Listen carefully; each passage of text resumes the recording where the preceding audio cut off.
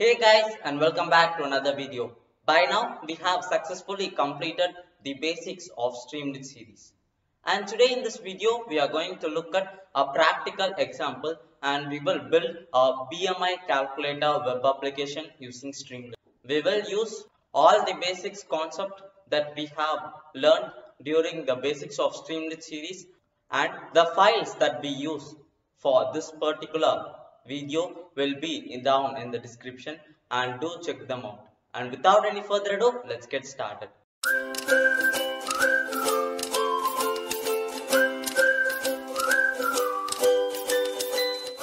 And as our clear basic step we have to create a folder and in which we have to have our particular python files. So let's create a new file and I will save it inside my desktop. And in my desktop I have a folder named the BMI app. And inside which I will call it as the app.py and now let's uh, shoot our terminal. So let's open our command prompt. And I will go to the particular directory. So desktop. And inside my desktop I will go to my BMI app and inside the BMI app I will run the app. So streamlit run app.py and let's wait for a while. And now let's import all the packages that we need. So import streamlit as st and now I have to give a title for this app. So st title and my title will be this is my BMI calculator. So now for this and let's say this and let's click on always rerun and we got our title.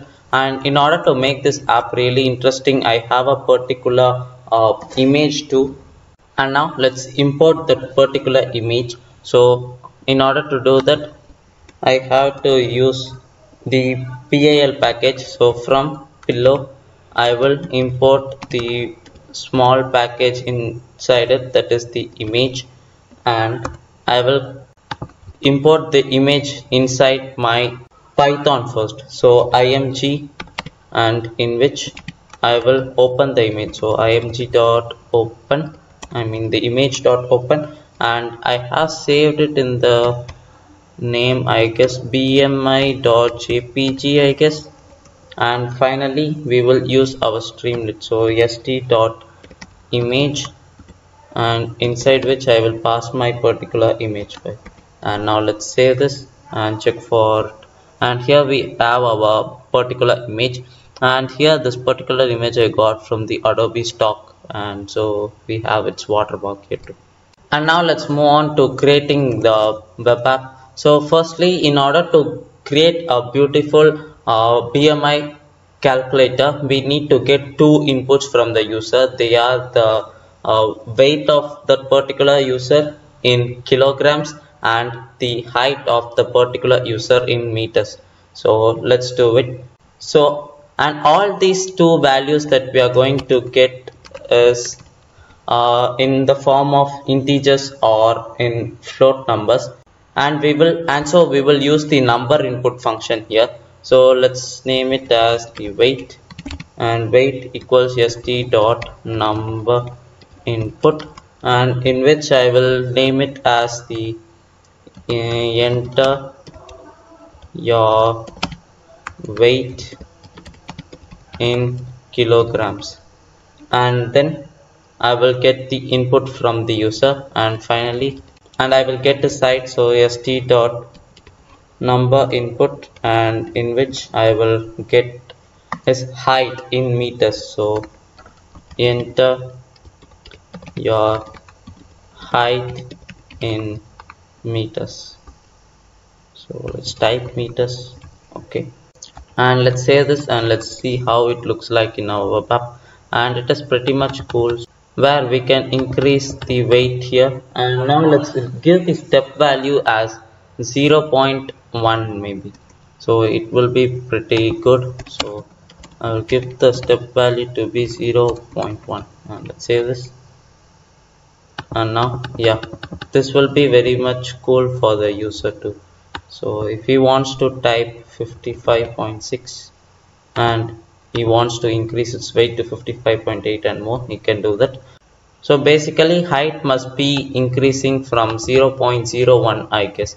And when we think of height and this particular uh, value is perfect. So now we have to process the formula so I will calculate the BMI now. So BMI equals the input weight divided by the height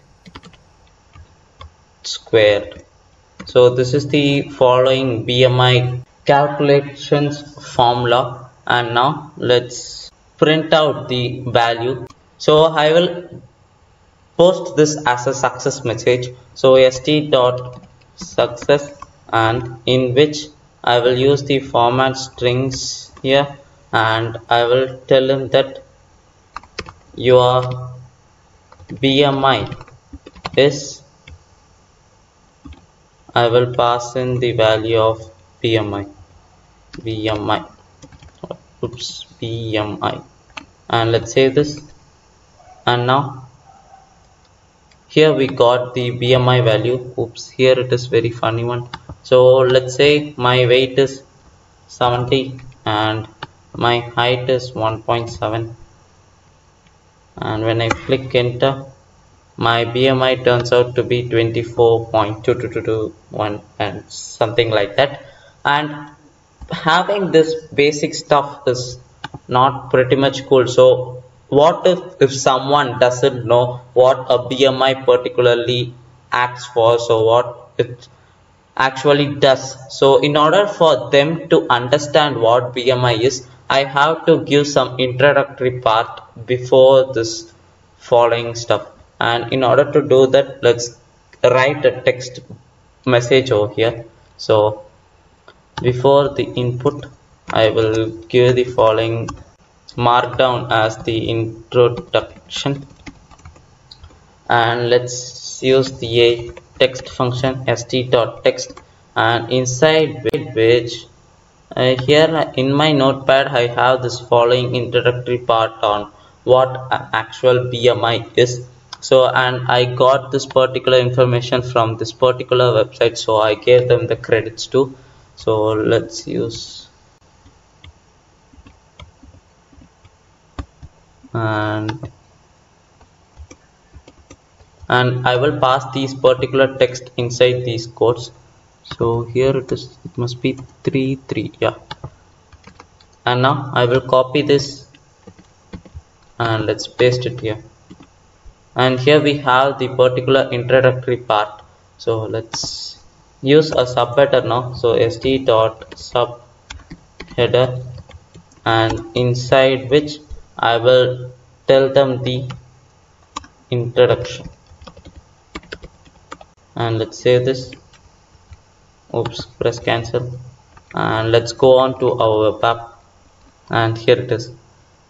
So this is my BMI calculator. And here I gave what is the full form of it. So body mass index is over here. And finally here I have the introductory part where it states what a BMI actually is.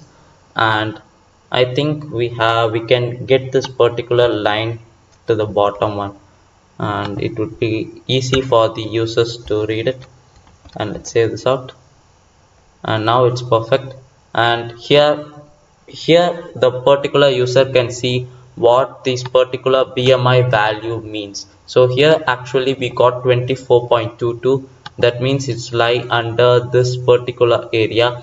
This is not actually my weight. So the particular guy who has this following weights is in a healthy weight range.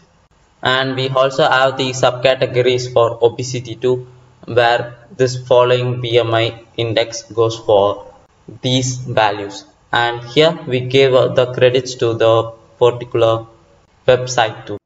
And yeah I hope you guys enjoyed this video. And in this video we did not actually deploy our particular BMI calculator web application inside Streamlit and I will make a separate video on it later.